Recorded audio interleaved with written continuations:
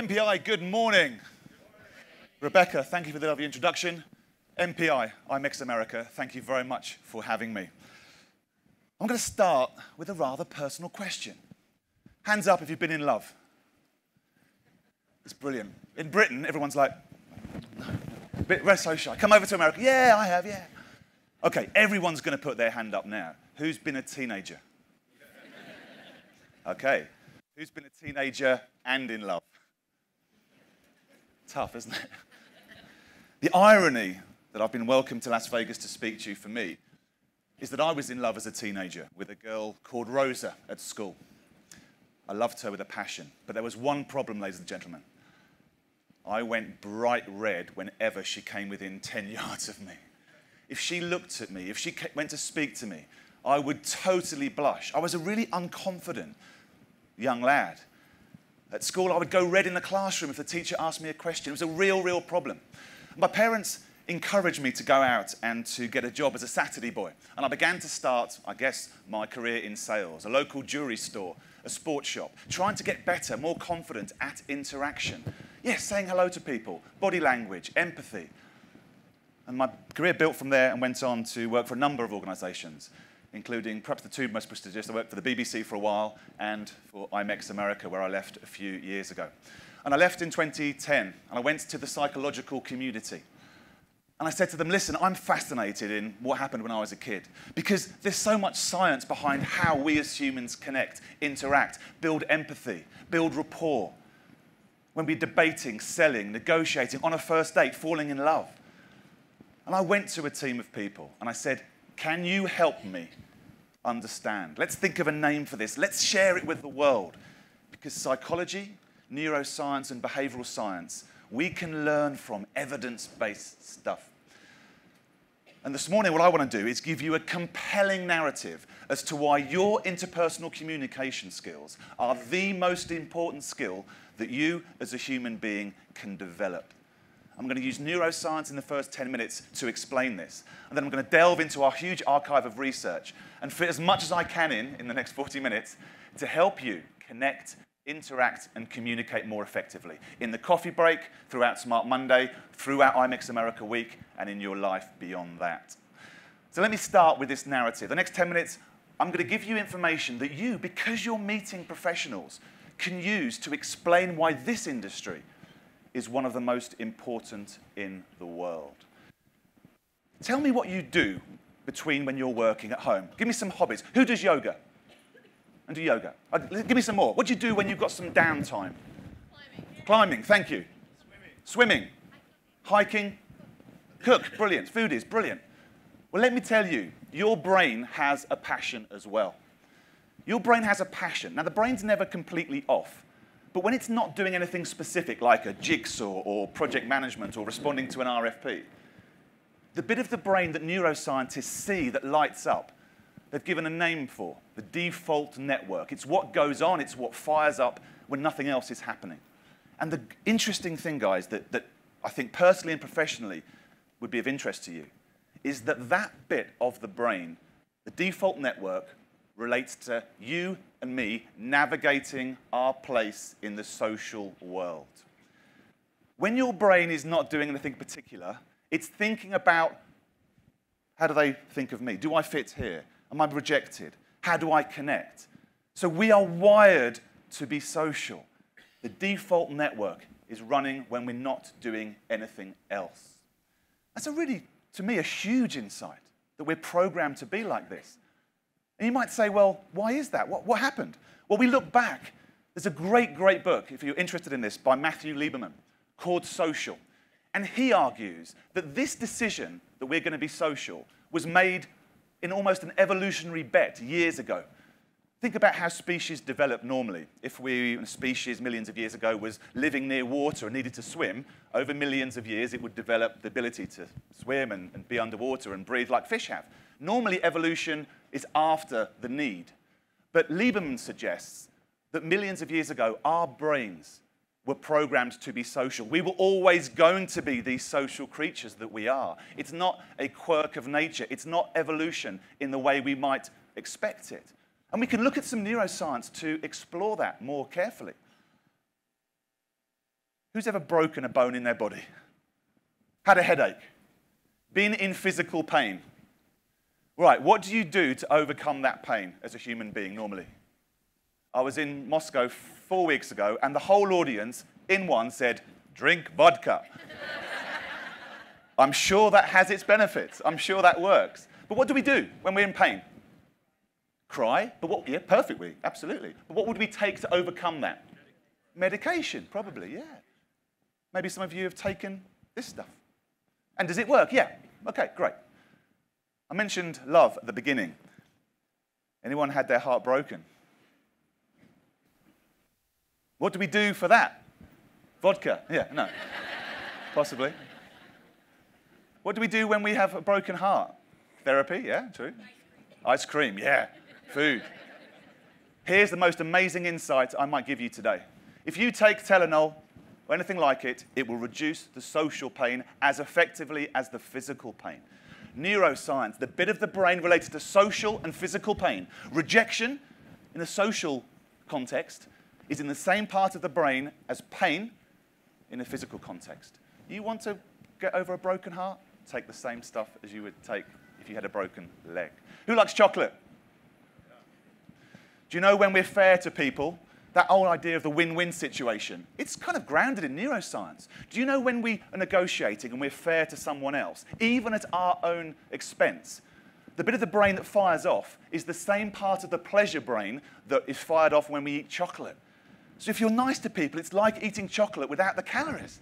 It's fantastic. We like that.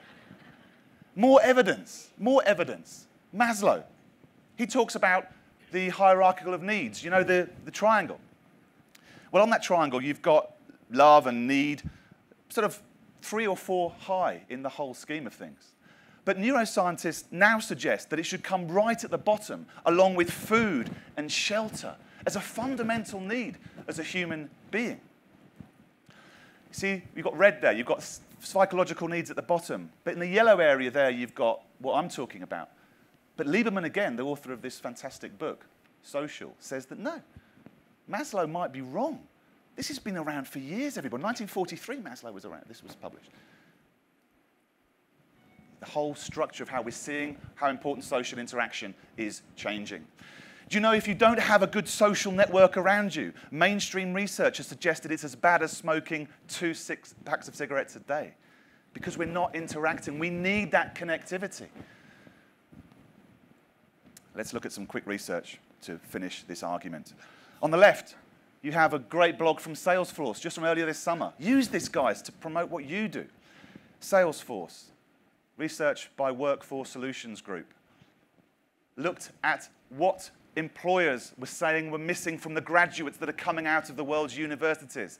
Their critical thinking skills are great. Their problem solving skills are great. But 60%, on the left hand side, 60% of employers were saying, these guys can't communicate. That could be a problem generationally, perhaps, if we're saying the younger generation, arguably, possibly, are not quite as good at social interaction. In the middle there, research done by Imago with Loughborough University School of Business and Commerce back in the UK.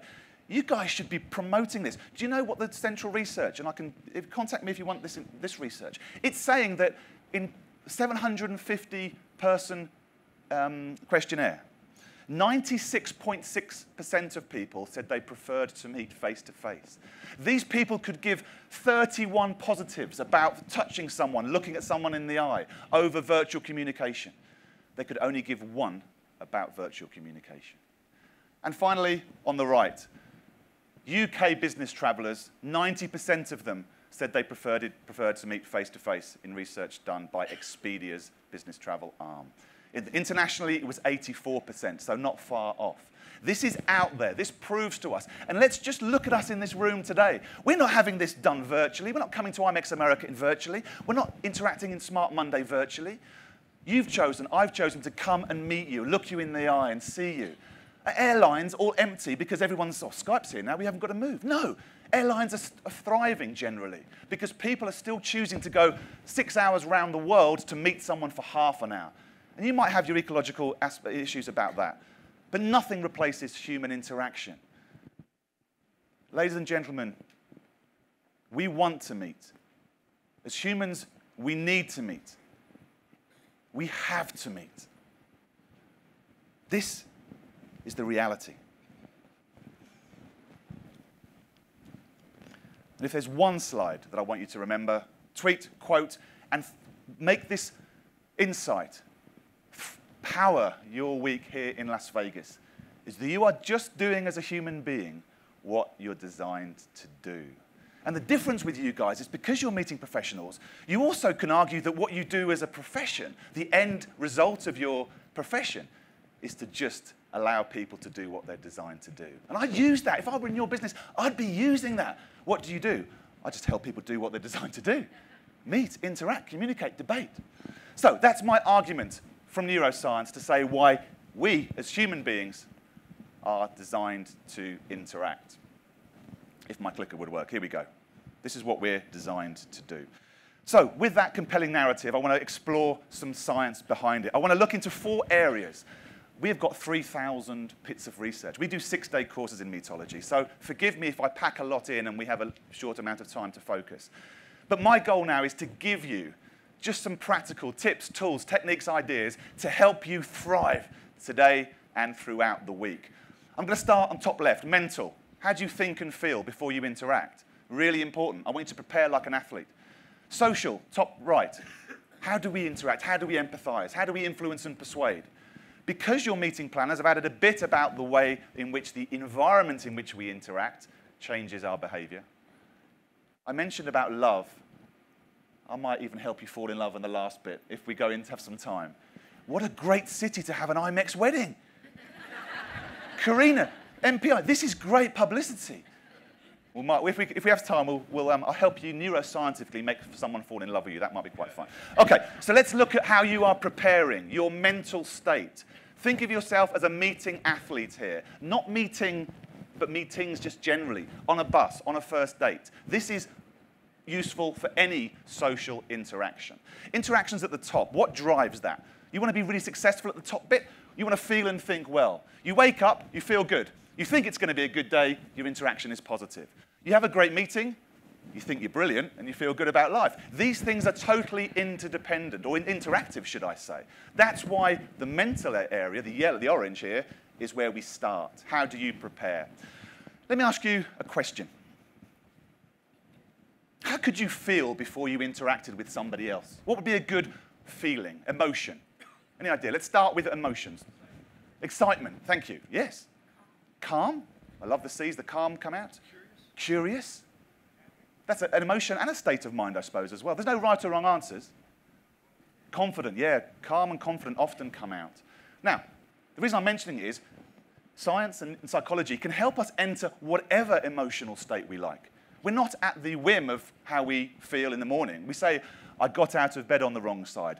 I'm sorry, that's outsourcing a problem a little bit, I think. No, take ownership of it. Psychology can help us. James Laird, a brilliant American psychologist, did some, has done lots of research. One of the areas is his as if principle. And it goes like this What do we do when we're happy? We smile. We're happy, so we smile. Laird has done lots of research that shows that if we smile, we become happy. Your emotions follow your physiology. And we can do, which is what's great about meetology, we can do some experiments. Experiment number one I want you to turn to your partner and give them the busy, the, the most beautiful, cheesy smile you can. I want you to show them your molars that have not been exposed to the public in years. But here's the thing here's the thing. I want you to tell them that you're having a really bad day and that you're really miserable. This is psychology in action. Smile but tell them you're having a bad day. 30 seconds, about 15 seconds each. Laurie, if we have some music, go. Okay. How was that? Experiment number one. How was that? Funny. Weird? Different? We're mismatching, aren't we? Our, you know, Laird's psychology shows if we're smiling, our bodies are trying to be positive. You're saying I'm really miserable. It doesn't feel quite right. You're mismatching. Really interesting stuff. You want to be happy? Just smile. You want to be confident? Just look confident. And I guess that's an important point, confidence, because it relates to posture as well. Not just smile, not just your face. you want to be confident. Tomorrow morning, you have, let's say you have a few drinks tonight or you have less, less sleep. Tomorrow morning, before IMEX America starts, you want to be confident? You're not feeling confident in your hotel room? Just walk around as if you are. have you ever tried this? I am feeling so unconfident. It doesn't work. you can't do it. Do you know that people with bad backs who are bent over quite a lot tend to have um, tend to, to be predisposed to suffer from depression? Because on a chronic level, if we're bending down all the time, I mean, even my voice lowers when I bend down. So, you know, your posture's massively, massively important as well. So facial features and posture. Your tips to try and, try and change, and change your emotion. But there's other ones too. There's anchors. Any idea what these might be? External things that ground us in a certain emotional state. Anyone been in love and can go to the shop, regularly goes to the shop and smells the smell of the person they first loved? it is torture. If you see me crying at an airport, I'm smelling angel. Woo. Ladies, don't come too near me if you are angel. I'm not responsible for my actions, really. Is that powerful? Yes, and think about other things. When we get the sun cream out in the middle of December or the middle of winter, wherever you are. Oh, I remember that holiday six months ago. The smell of your loved one. Now, smell, there's not a smell that will make us calm or confident or curious, no. But can you link smells to a certain emotional state? Of course you can. It happens automatically, as that example shows. You can use smell to ground yourself neurologically in whatever emotion you want. What about music? Carina came on, Paul came on, Rebecca came on to music to make us feel different. As organizers, in a separate thing, you have a real powerful tool there. Because does music change our emotions? Dan, let's have some music. It's Bryan Adams. It's Monday morning, Smart Monday. We're ready to go. This is fantastic. Oh my God, this is just amazing. Uh, okay. Wow. What a change in atmosphere. What a change. Oh, man. Man.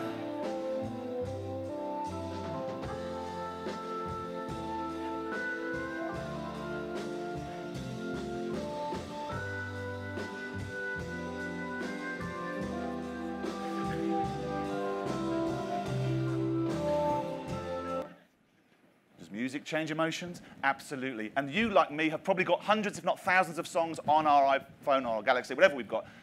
Change your emotional state by looking at emotions.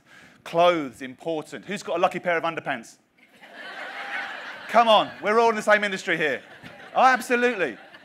If you know me outside of the industry, I don't spend money on clothes. The only money I spend money on, or, or money on clothes, is when I'm professionally speaking. I do a meetology blog, a Meetology Minute, a video blog every Thursday. And when I was doing, recording them many years ago in a studio like this, it was very hot. And Howard behind the camera said, John, you're looking a bit sweaty, to be honest. No one was around. Trousers off, shoes off, shorts on. Could I present to the camera? totally unconfident with no shoes on. We don't do business like that, do we? Ladies and gentlemen, you all have heels, shoes, blouses, earrings, ties, underpants maybe, that make you feel a certain way. Use them to change your emotions. It's called enclothed cognition from a psychological perspective. You can eat. We pretty much know that food makes us feel good.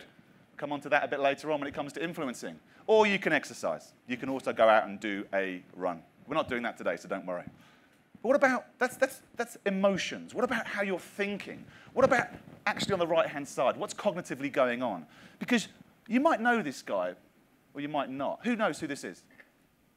You'll know what he did psychologically. Robert K. Merton.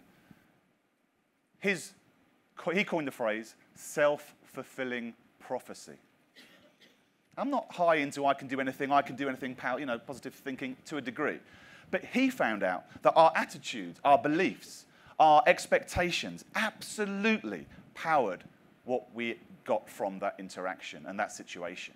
We tend to behave in a way that meets our expectations. So, are you ready for Smart Monday? Are you ready to do business and learn and interact and negotiate and go out to IMEX America throughout this week and do well? Could be good. But I suggest you are not always positive. Dan Pink, brilliant, brilliant book, To Sell is Human, talks about how our performance psychologically and mentally is better when we are realistic sometimes. Roughly three to one. I can do this, I can do this Okay, perhaps be more realistic. Perhaps say, can I, rather than I can. I, can I leaves you with your brain with a question that it then can solve. I can do anything doesn't quite lead to any evolution in that, does it? So have a look. Dan Pink, great book to sell. All Dan's stuff is brilliant, but to sell is human is of interest. So you're feeling good. You're thinking in a positive way. We just need to get us to interact and connect. So let's go on to the social, the core of this next 15 minutes, the core of the presentation. If I can give you just some skills today to help you do this more effectively, I hope this morning would have been of use. Let me start with something. I'll try and done this chronologically. Before you meet someone, do you know that you're more likely to connect with someone socially if someone you really like has introduced you to them? And I bring this up because on the other side of the coin, if someone you don't like has introduced you to someone, say, IMEX America, oh, you must go over to this booth. This is someone you'll really like. But the person who's telling you you don't like, you'll be predisposed, going back to Merton, self fulfilling prophecy. Wouldn't that be a shame? Wouldn't that be a shame? And I have this slide because it's a bit like the Julia Roberts uh, situation in Pretty Woman. If these people were on the stand or met you socially, you met them on a bus or on a plane, I wonder what we'd think. And if they're positive, then that's brilliant. But if they're negative, my first point is recalibrate that brain. Unconscious bias, if it's negative, has no place because you've got to give someone the chance to interact and connect with you, surely. So that's where I start. So you recalibrate your brain. You're going to meet someone. What happens then? You do the handshake. Now, I think we talk a lot about the strength of a handshake, don't we? But Heidelberg University, Sabine Koch, did some research that showed actually what's as important is the fluidity with which we shake hands. So people in, in research, psychological research, were rated more likable and more positive, not when they grabbed someone and shook them like that, but when it was a smooth handshake. And the great thing is, I can know if you're listening, because everything we talk about in the next 10 minutes, I'm going to be going around IMEX American Smart Monday.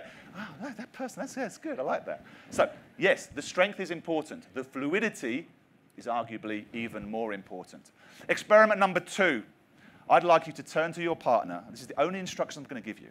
Take your predominant hand, the hand you write with, get the index finger, and on your own forehead, own forehead, draw the letter E. That's the only instruction I'm going to give you. There's no right or wrong answer, but there is a psychological element to this. I'll explain afterwards. Bit of music, please. Dan, 30 seconds. Go.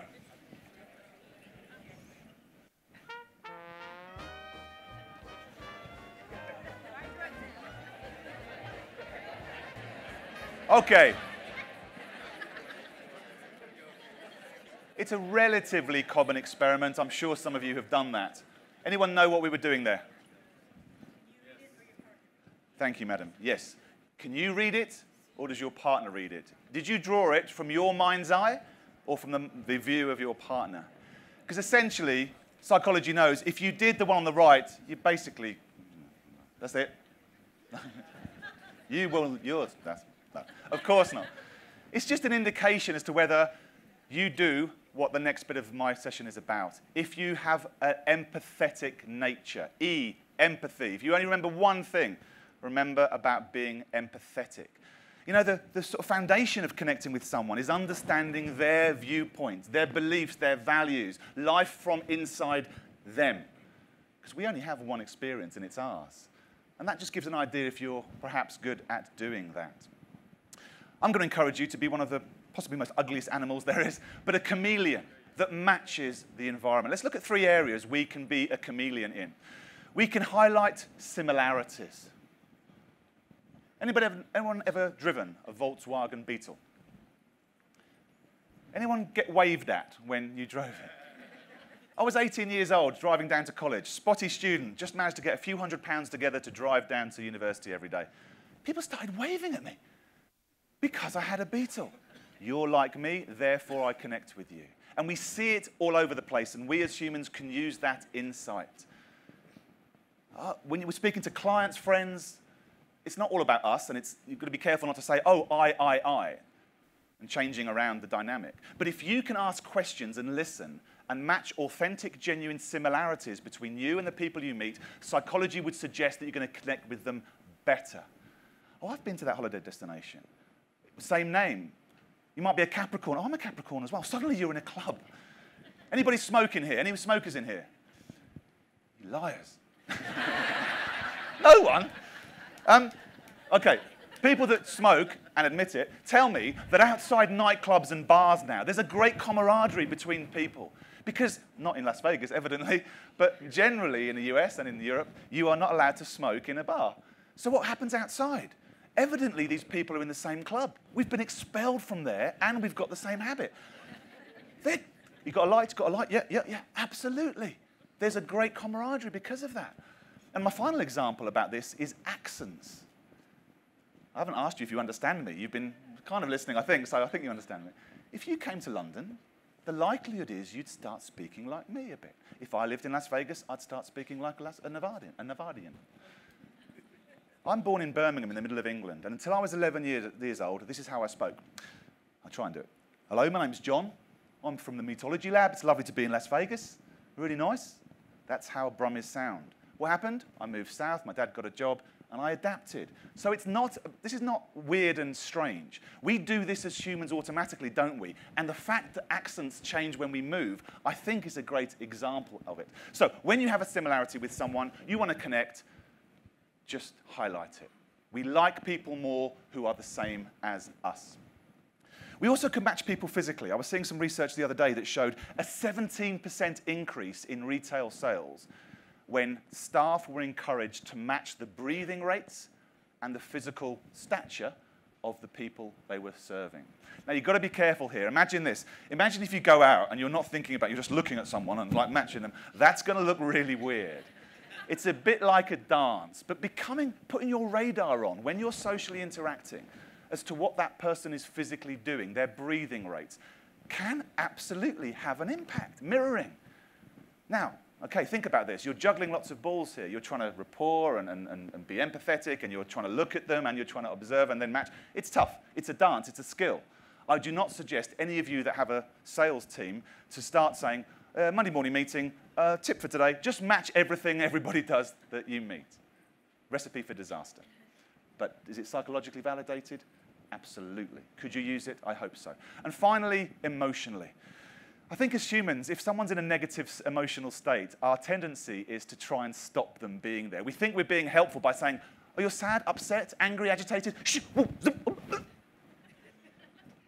Well, suggest to you, I implore you not to do that. I implore you to meet them in their reality, to be agitated with them. They're stuck in a traffic jam, they're late for your meeting. That happened to me last week too, similarity. I understand. Oh, I must be annoyed. Be angry, be a bit annoyed. Get your heart rate going, get your vo vocal cords going. Pace them and then lead them to a place that's more appropriate for you both.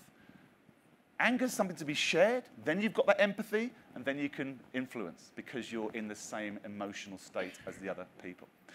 Okay, let me move on to Robert Cialdini. Some interesting stuff about influence and persuasion. When we meet people, we often want to influence and persuade. I argue we're selling all the time. We'll be connecting, especially today at IMEX America. The six laws of influence and persuasion. Social proof number one. We like to do, as human beings, what other people have already decided to do. Go to a restaurant, the most popular menu, right in the middle. Is it the most popular? Possibly. Is it the most profitable? Absolutely. We like to do things other people have already done. There was a great bit of research in Cialdini's book, 1984. It's called Influence. It's still the Bible of influence and persuasion. He's got a new one out called Persuasion at the moment, but the Influence book from 84 is brilliant. He talks about an infomercial channel here in the United States that was doing okay. And they got a psychologist in to change the script of the uh, infomercial channel. And this is how it went originally.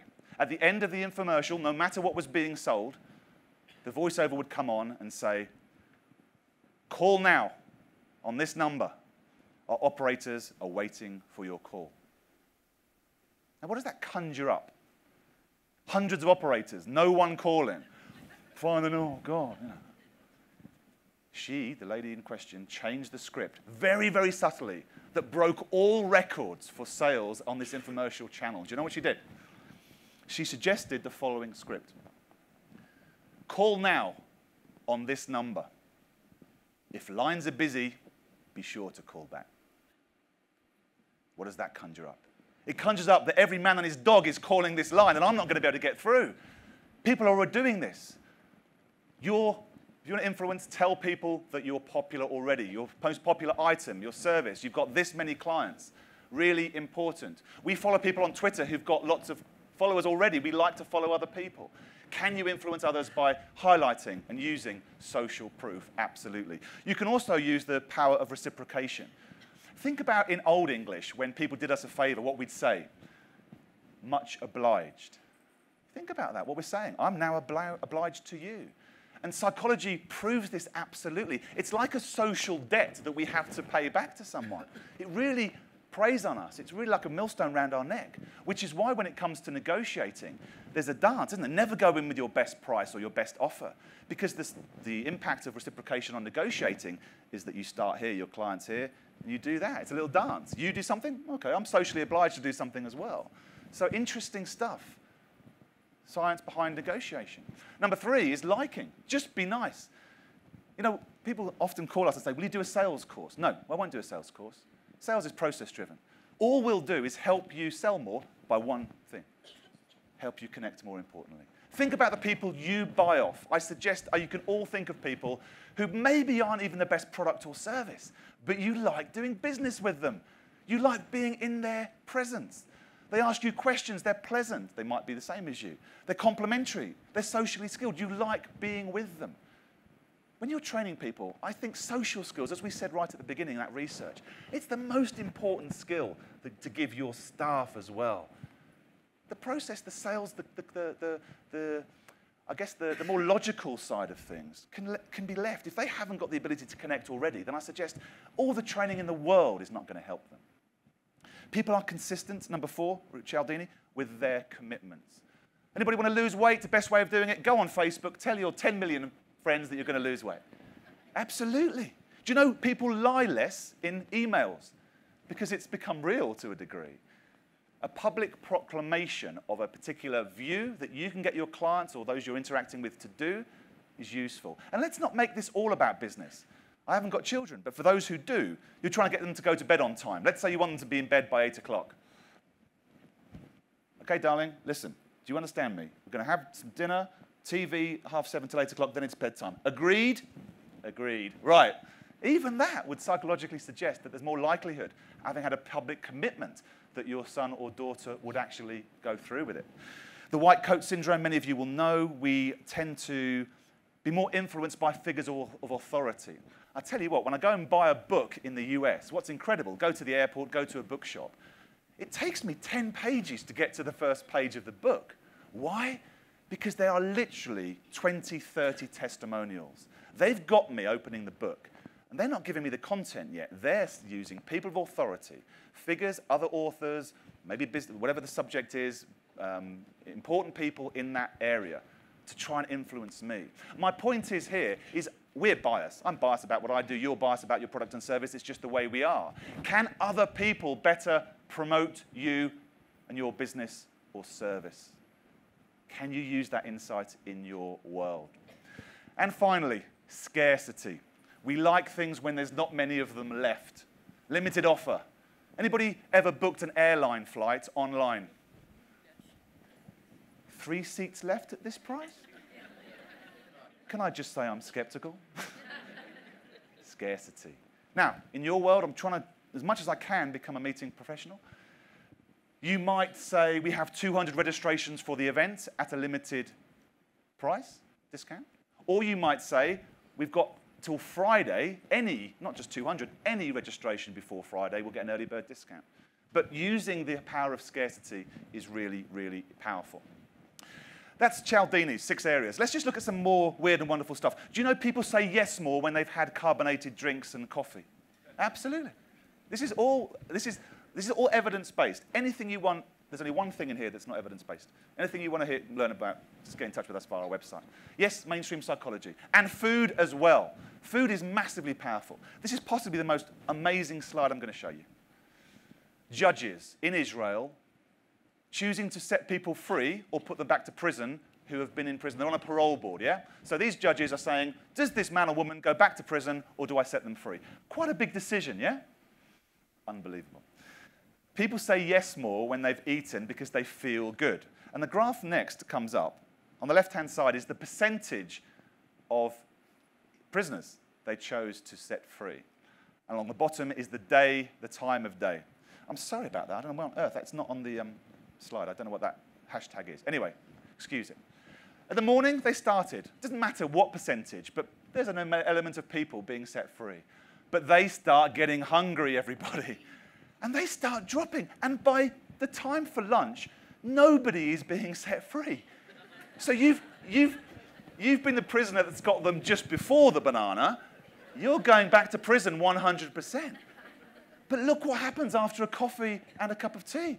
They start letting people go free again. This is quite incredible.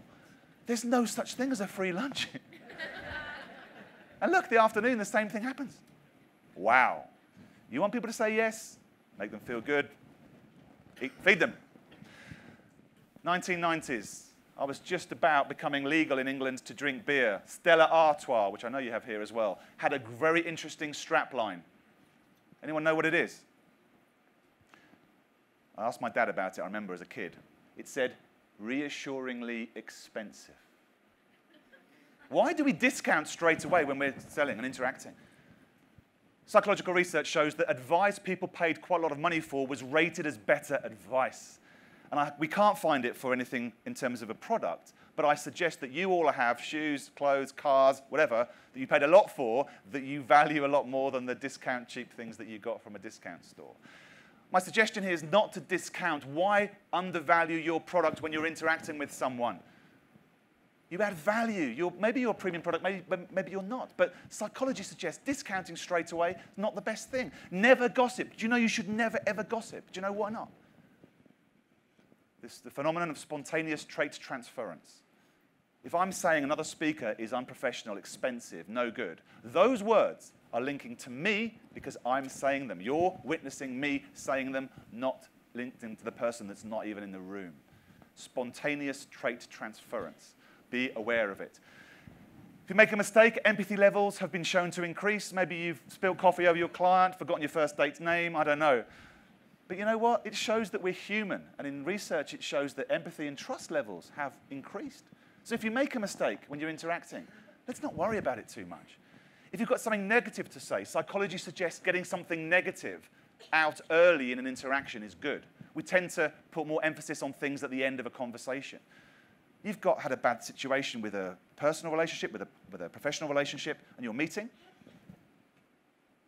Get rid of that um, admission or, or uh, confront the elephant in the room very quickly. Okay, it's been bad, but I want to build on that with some positivity. That's the way to psychologically design a conversation if you're interacting. We know probably, most of us, that humor makes us feel good, and therefore we're likely to say yes more. I can tell you that humor is very different in different parts of the world, let me tell you that. Be careful with this one. If you can make someone laugh, fantastic. Yes, people have been shown, rather like food, to say yes more when they're laughing. But be aware about the cultural differences here. I've sat in front of people in the Czech Republic and I've said the funniest joke in the world, in my opinion, and I've had 50 Czech people at a sales presentation. Oh, wanted the ground to eat me up, believe me.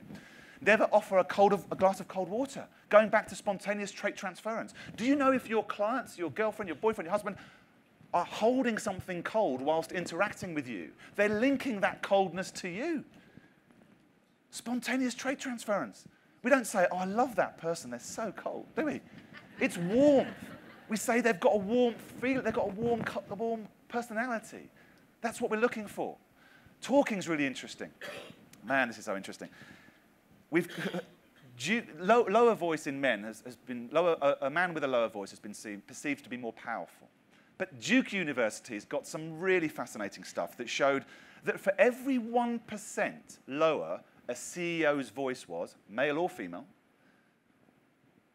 they linked that, having done extensive studies, to a $30 million increase in the asset of the company they presided over.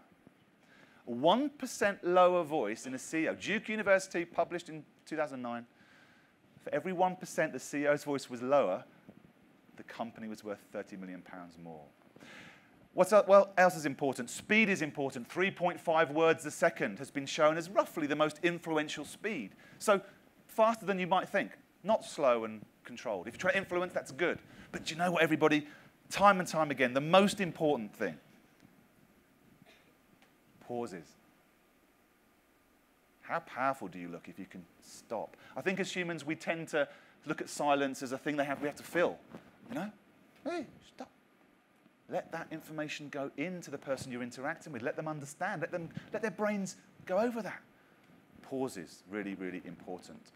One other thing I've noticed, and I've got younger people on here, but I think we all do it to a degree, there's some psychology around what's been coined as up talk. Asking questions when you're doing a statement is a big phenomenon. Australia and New Zealand is quite, it's quite a, a thing there, and in the UK as well as I think in America. It goes like this My name's John. I'm in Las Vegas. I'm at MPI Smart Monday. Am I telling you or am I asking you? Of course, I'm telling you. And there's been an increase or decrease in, in not trust, but uh, likability and persuasion when everything you do is a question. And I've, not teenagers is, is too specific, but the younger generation do it incredibly. It's a personal thing. It makes me. But language evolves. So it's not, not about John, it's language evolves. We've seen a big increase in tips in restaurants when people, uh, when the servers have touched lightly the customers. Even when the customers do not think they've been touched. In research, there's been great experiments. No, no one touched me, but I like the him and him and her and her. I gave them more tips. Well, they're the ones that touched you. Treat with caution. Be careful. Elbow, shoulder. But absolutely, does it make a difference? Yes. And finally, start and the end. If you have a chance in a, doing a presentation for a big RFP, whatever it might be, and there's a number of you always asked to go first or last. The psychological phenomenon of primacy and recency. If I'm public speaking and it's going really badly, I've got to nail that finish because that's what you're going to remember. And why, the first bit, why first impressions are so important. Your instant impression is such an important thing to give a positive one. So, start and end. When you, those conversations are happening, be aware of them. Got about 10 minutes left. Let's go through space. Just a bit on this. I don't normally cover it, but because you're meeting professionals, I thought I'd look at how space can interact, how people um, perform. First tip Craig Knight, University of Exeter in the UK, does some great research. Give your audience, your attendees, the chance to create the environment in which you're asking them to meet. This is, before it's all about you as personally, this is about you professionally. We like we perform better in situations and environments where we've had some ownership. Let them do an online vote before for the opening music.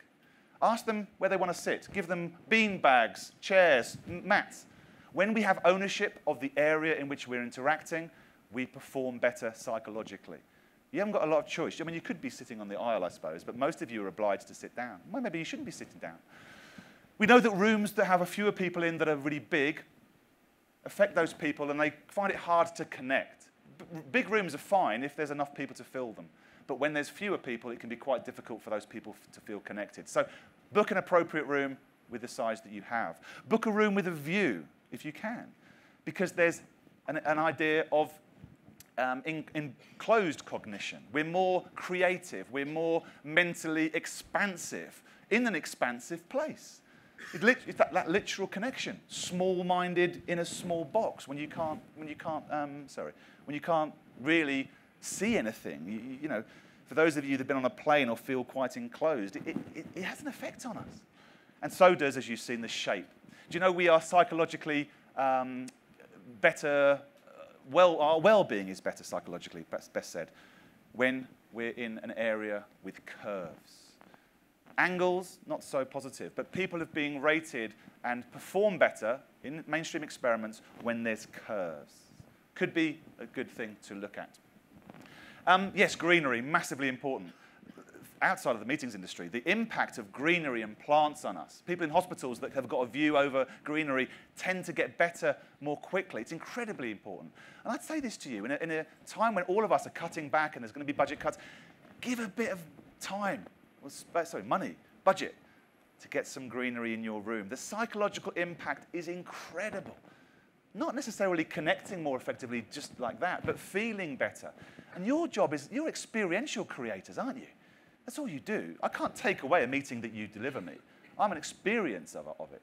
So if you've made me feel good in the environment you've asked me to come and meet in, you're halfway, or more than halfway to doing what you do. We mentioned spontaneous trait transference, so I'd suggest you don't meet in a very cold room. We haven't got that problem right now, at least from the stage, let me tell you. And chair setup. And I worked for IMEX for seven years, and I was always amazed coming to the show in Frankfurt and, and obviously here a couple of times. Why do we put a barrier between us and the people we're interacting with? I'd like to see two chairs facing the same way because we're going in the same direction. We're trying to find a solution. Setups like this that you're seeing now have been shown to foster creativity, connectivity between the people involved. Think about that. Think about the setup. Opposite directions? Most of the time, we're not. We're trying to go in the same direction. Some research I saw could help you cut your chair budget because it showed that meetings without chairs were just as effective but tended to last half, as, half the time. Save money and room hire. That's fantastic. And just a couple of nudges. Do you know that people have been more creative when there's been creative art on the wall? Put a Picasso on the wall. Probably not a genuine one, but anyway. Picasso on the wall. Absolutely. Women have been shown to present better publicly when there's been a picture of a female role model, number of female role models, at the back of the room. Do you know we have been seen to be more generous when there's big dollar signs around as well? And more honest when there's a mirror that can make us see our own actions. This is, this is, you, we don't do meeting design, but you can scientifically design meetings, let me tell you. There's so much stuff out there. It's incredibly interesting. But I want to help you fall in love. We do want, there'll be a, a, prize, I haven't spoken to Carina about this, a cash prize for the first person who gets married at IMEX America in Las Vegas. Don't tell, I think Carina's gone. Don't tell her. She'll be all right.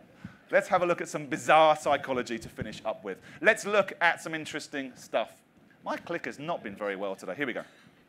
People giving to charity have given twice as much money when they've gone up an elevator or an escalator. It's the idea that we feel morally high. Yeah, I'm, I'm, throw money around. So, if you want someone to interact with you or influence them a bit more, a meeting on the top floor of a hotel might be the thing to do. It's not being high. You can't blindfold them and find them on top of a mountain. It's that going up is the thing. Do you know doors can help you make so much better connections? This is the psychology of an event horizon or an event boundary, and it goes like this. Walking through a door resets, recalibrates our brain. Anyone ever been in the kitchen, thought, I must go and get my keys from the dining room? Walk through the door.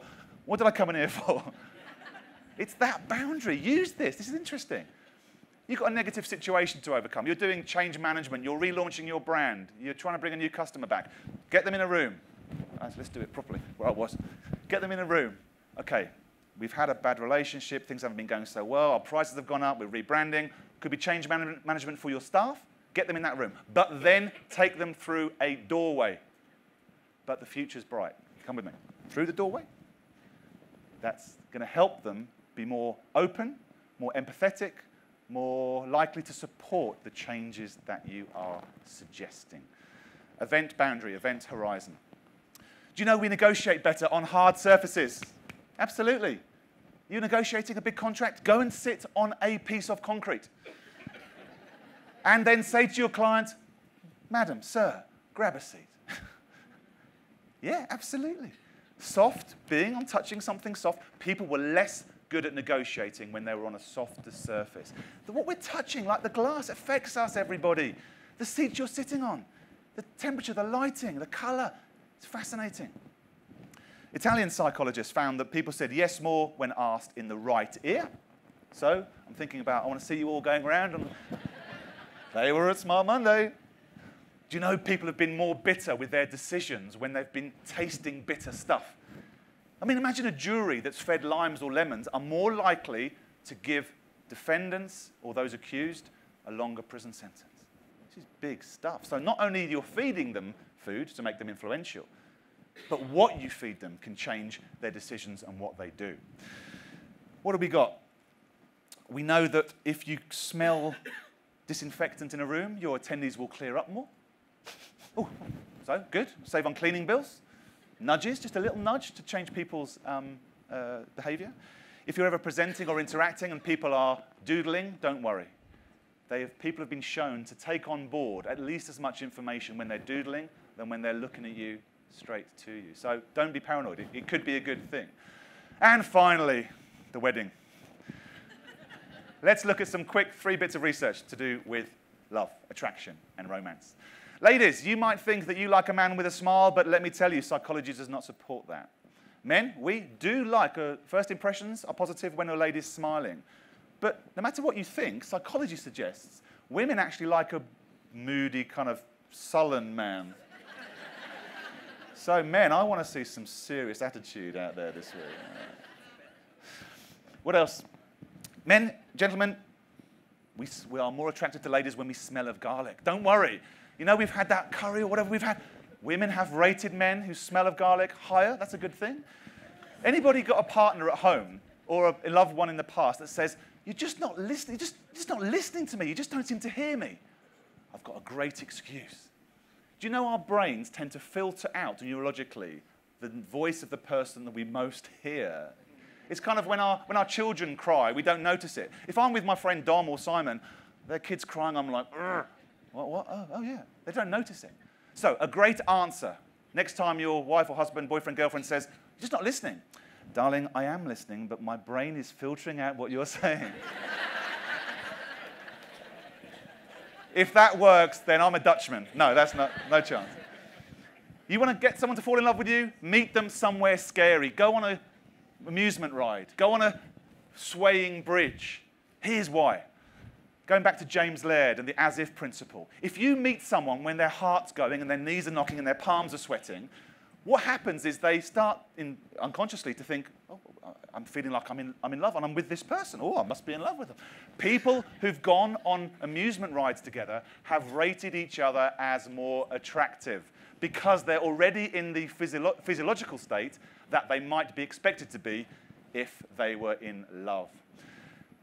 Ladies, you're more likely to end up with a partner that's got the same color as your father, and gentlemen, we're likely to end up with a partner the same color as our mothers. Interesting stuff. 2012, that. And finally, eye contact. If we're in love, we look someone in the eye. If we look someone in the eye for too long, absolutely, we can begin to find people more attractive. Now, I'm not looking at anyone particularly, and don't worry, it's about two minutes.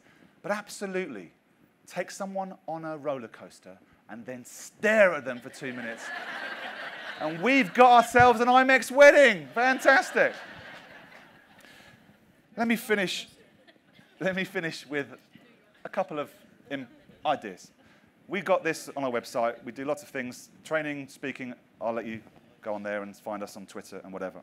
But you know what? I want to give you, finish with a, a passionate plea on two levels. As meeting professionals, let me tell you the psychological community can say that what you do just facilitates what your attendees need to do. You are simply creating a chance for people to interact socially. And I think you should shout about that and use science and psychology from the rooftops to make sure that your industry is taken seriously by the world at large. But on a personal level, which is what this session was all about, we've had a look at the neuroscience, given you a compelling argument as to why you and I are wired to be social. And I hope we've given you some tips and ideas and tools for you to use. So I want you to go out in the coffee break now. Have a fantastic Smart Monday. Connect, interact, be unbiased unconsciously. Shake hands, connect, debate, make eye contact. Just bond with people and interact. Because let me tell you, as I said right at the beginning, as a human being, doing that here in Smart Monday and IMEX America is what you are wired to do. MPI, IMEX America, have a fantastic week and thank you for having me. Cheers.